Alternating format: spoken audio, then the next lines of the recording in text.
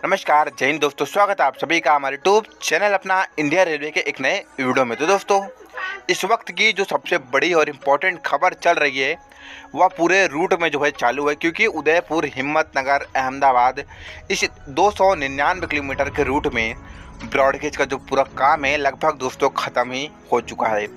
अब इस महीने का आखिरी सियारा से तो इस महीने के बाद जो जो पूरा रूट रहेगा, रेलवे को चलाने को लेकर यहाँ पर पैसेंजर ट्रेनें डेमो ट्रेनें, मेमो ट्रेनें, इन ट्रेनों को चलाने के लिए ये जो पूरा रूट है दोस्तों ओपन भी कर दिया जाने वाला है।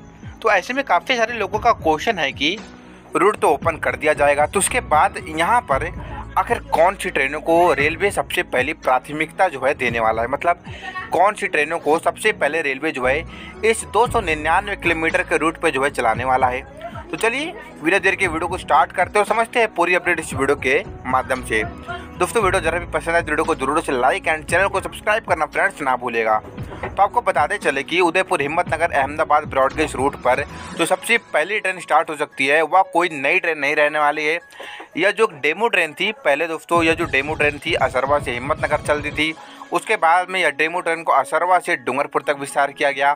अब दोस्तों, इस डेमो ट्रेन को उदयपुर से उदयपुर तक जो है विस्तार करने की योजना भी जो है रेलवे बना रहा है। इस रोड पर लंबी ट्रेनों को चलाने को लेकर यहाँ के लगातार सांसद और यहाँ के स्थानीय लोग दोस्तों लगातार एक्टिव है।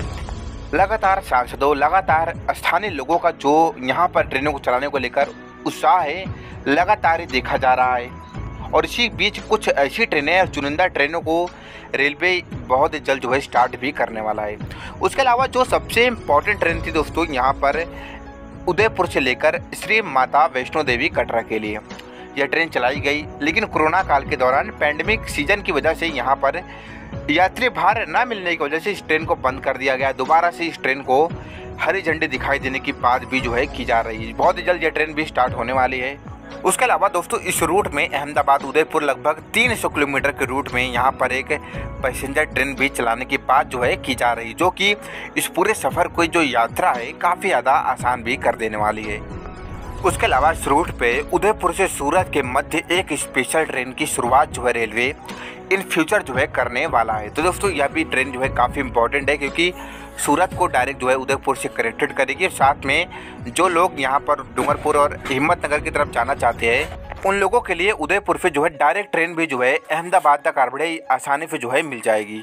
इसके अलावा इस रूट पर उदयपुर से मुंबई के मध्य एक स्पेशल ट्रेन की शुरुआत जो है की जा सकती है, जो कि काफ़ी ज़्यादा इम्पोर्टेंट भी साबित होने वाली है।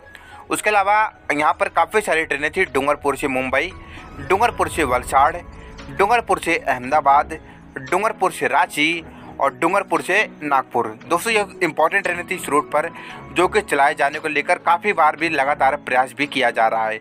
और अभी हाल ही में सांसद कनकमल कटारा जी ने डूंगरपुर से मुंबई, डूंगरपुर से चेन्नई, डूंगरपुर से पूना, डूंगरपुर से अहमदाबाद, डूंगरपुर से दिल्ली, डूंगरपुर से जयपुर और डूंगरपुर से जम्मू तवी के लिए नई ट्रेनों को शुरू करने के लिए बात भी जो है, उन्होंने प्रपोजल भी जो है रेल मंत्री अश्विनी वैष्णव के नाम जो है सौंपा है।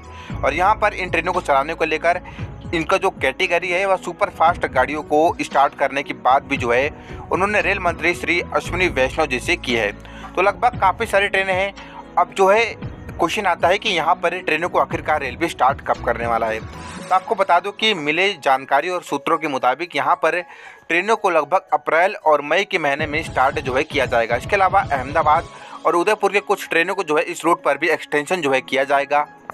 तो आई होप आपको वीडियो कैसी लगी, आप लोग भी हमें कमेंट करके ज़रूर से बताइएगा। वीडियो पसंद है वीडियो को लाइक करें और इसी प्रकार की लगातार नई और भरपूर खबरें पाने के लिए अपने YouTube channel Apna India railway को सब्सक्राइब एंड लाइक करना ना भूलिएगा। हाँ फिर मिलते हैं नए वीडियो के साथ में। इसी तरह के नए इंटरेस्टिंग टॉपिक के साथ में।